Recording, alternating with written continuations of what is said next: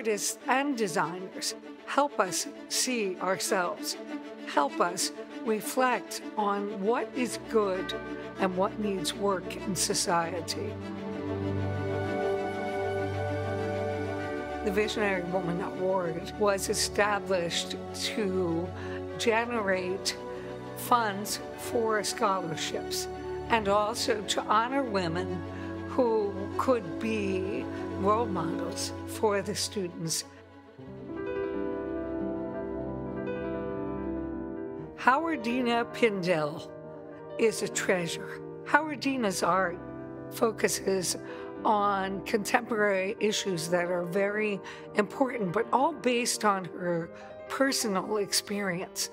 And the people who are looking at them should reflect on what's happening in society. I felt fulfilled as an artist. It's just something that was like my breath, like I was doing the right thing. I was very entranced by the motion and the aspect of drawing. Experiencing some of the things that I find tragic, I've often been able to, you know, have it come from me into a visual realm. And so I started thinking that it was time to start ex expressing what I felt and what my opinions were.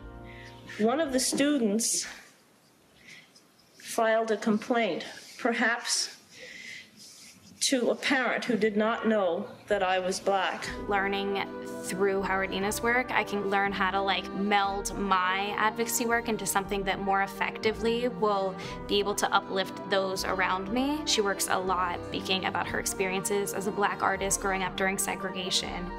I know as a white woman that my work with advocacy is mainly to raise up those around me who have personal experiences to tell. How did you come to find your style as an artist and like how did you know once you were like settled into it? It was a long process because I started off as figurative and then it gradually became abstract and I became aware that I couldn't move, I couldn't evolve, not because of figuration, but just because of my working circumstances. And the thing that I would say was the turning point was my becoming obsessed with the circle. Now, what started to happen with the circle was that my father liked root beer.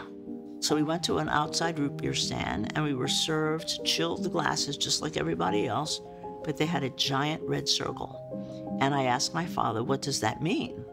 And he said, oh, it means this is glassware for people of color. So um, that's kind of stuck in my mind, and it's like so much a kind of iconic image for me that it shows up everywhere. Being here at Moore, I realized that for me, it's like less about finding a style and more about like my process as an artist. I think that almost meditative work really allows you to like connect with the work. It's like you venerated him as a figure, and that circle is like a halo. And when I look at your piece, I'm saying, oh my God, she's punching holes, which I love to do.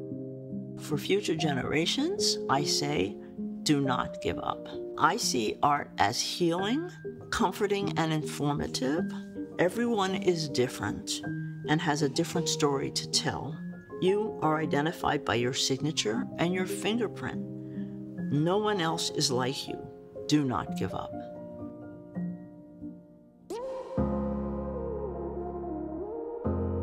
Joan Shepp has been an icon in the fashion industry in the city of Philadelphia. She's very, very invested in developing new and emerging designers. And of course, that's exactly what our students have to offer. They learn how to create and how to bring to market. She is the market.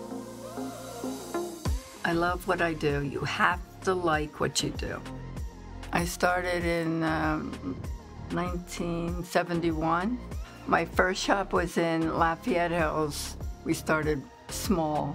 What really helped us over the years was I wanted to look different. I wanted to be different so that all the stores were not carrying the same thing. I really admire her business style and I really admire her store in general and definitely the different um, styles that she like curates at her store I think is really interesting. She's very much a well-known Philly fashion name and I think that is so inspirational. How did you curate your aesthetic and you curate your store? As times change, we change too. Each season, we did something else. We painted or we changed it or we moved things around. It was always exciting, fresh flowers, everything to soothe the people that came in. Business is a part of life, and as an artist, you're like continuously selling yourself and you're continuously selling your product. So, whether or not I open a business, it is important to like sell yourself. So, are you doing your creations or you're doing what they're teaching you?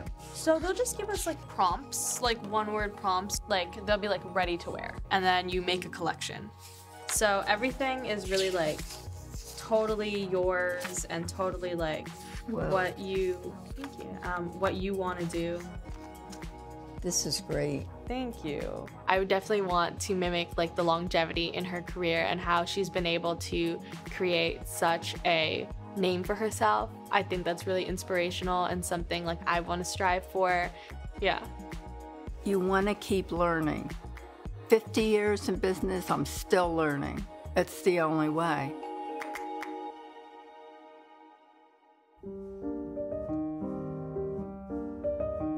Lorene Cary is an institution in Philadelphia, and therefore very important that we should recognize her work as a writer, a playwright, and an arts advocate.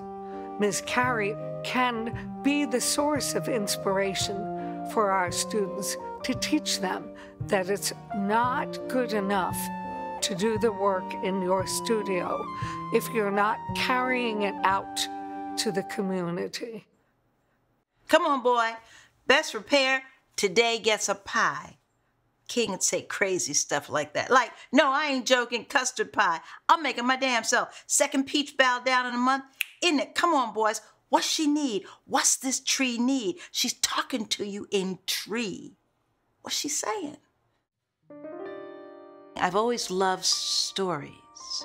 I've always loved hearing them, thinking about them, putting a little video that would start in my mind, seeing it over and over again.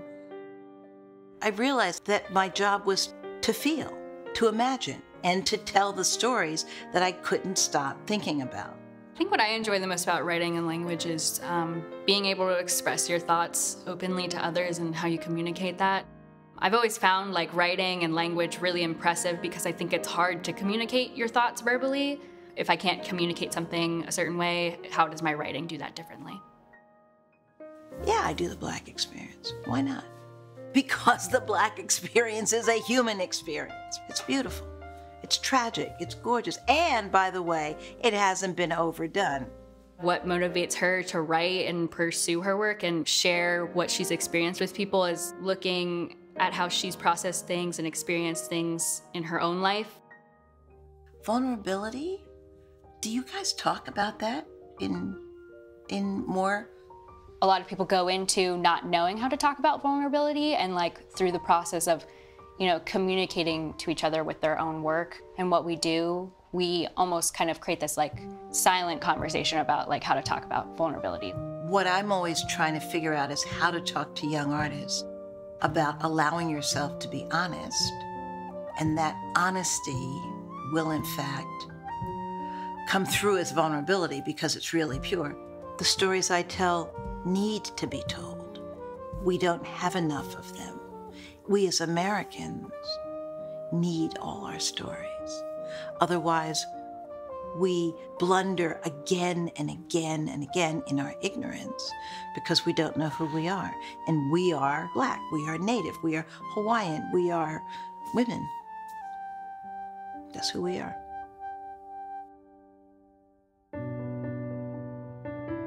The Visionary Woman Award is a thread that connects all three of these wonderful creative people and recognizes their impact on their art form as well as on the young people who attend Moore. It's really important to honor women for their achievements, and it really pushes me forward and know that I can, you know, achieve something great. I am honored to be part of giving the students an opportunity to get a great education. It's our donors that allow many students like me to be able to go here to Moore.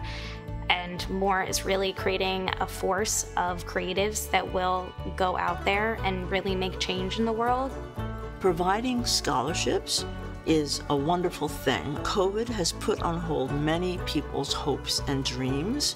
They know you are still out there for them, which is very important that you not go away, that you be there for them. Since the program is the largest scholarship that each student can receive at Moore, it is really the difference between whether a student comes here, whether a student doesn't come here, right? One of the reasons I'm here is because there were scholarships all the way along the way. Moore's commitment to helping these artists bravi, bravi, bravi, I say, because we need everyone's creativity. We need everyone's power. My greatest hope for the Visionary Woman Honors Program is that it continues and grows in its attraction of highly talented students and provides those students who are worthy to come to college, to change their life and ultimately to change society because they have the power to do it.